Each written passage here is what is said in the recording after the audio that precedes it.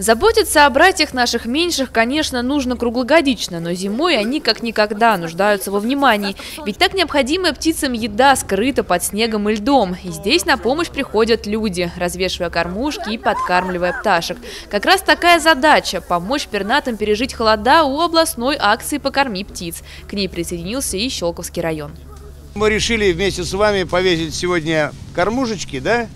И накормить птичек. Поэтому давайте к этой акции приступим. Эстафету добра запустили известная спортсменка, депутат Мособлдумы Ирина Слуцкая и министр экологии и природопользования Подмосковья Александр Коган. К акции уже присоединились многие муниципалитеты. В Щелковском районе вешать кормушки для птиц помогали ученики 4 класса школы номер 4 имени Петра Климука. Как оказалось, некоторые из ребят и раньше заботились о пернатых. Кормить птичек полезно, чтобы они не умерли от голода там.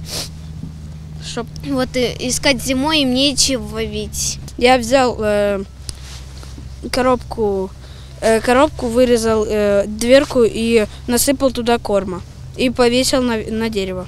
Я испытывал радость, когда увидел то, что э, в, мой, в мою кормушку прилетели птички. Проявить заботу о пернатых может каждый, однако необходимо помнить, что кормить птиц нужно правильно. Кормушка должна иметь крышку и бортики, а в качестве корма лучше использовать семечки подсолнуха, крошки белого хлеба и сала.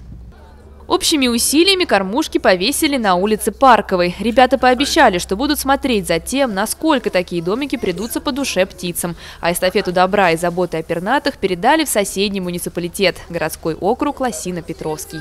Дарья Соснегова, Александр Аржевский, телерадиокомпания «Щелково».